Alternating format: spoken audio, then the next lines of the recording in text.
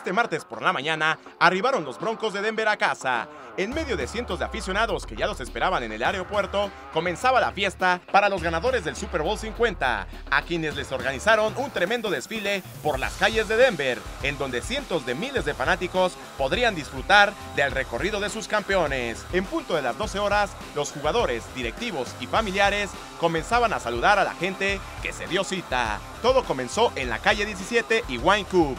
Aún cuando la temperatura era baja, parecía el trofeo Vince Lombardi mantenía cálida la ciudad, que en todo momento vibró al ver pasar a los artífices del tercer campeonato de los Broncos. El recorrido terminó aproximadamente una hora después en el Parque Centro Cívico de Denver, donde tanto Peyton Manning, mariscal de campo, el apoyador Von Miller, quien fue nombrado jugador más valioso del partido, el entrenador en jefe Gary Kubiak y el gerente general John Elway hablaron ante los cientos de miles presentes, a los que les agradecieron su apoyo y les dedicaron este enorme triunfo. Además del desfile de los campeones, hubo conciertos musicales para el festejo de unos Broncos de Denver, a los cuales no muchos los daban como aspirantes al título en esta temporada.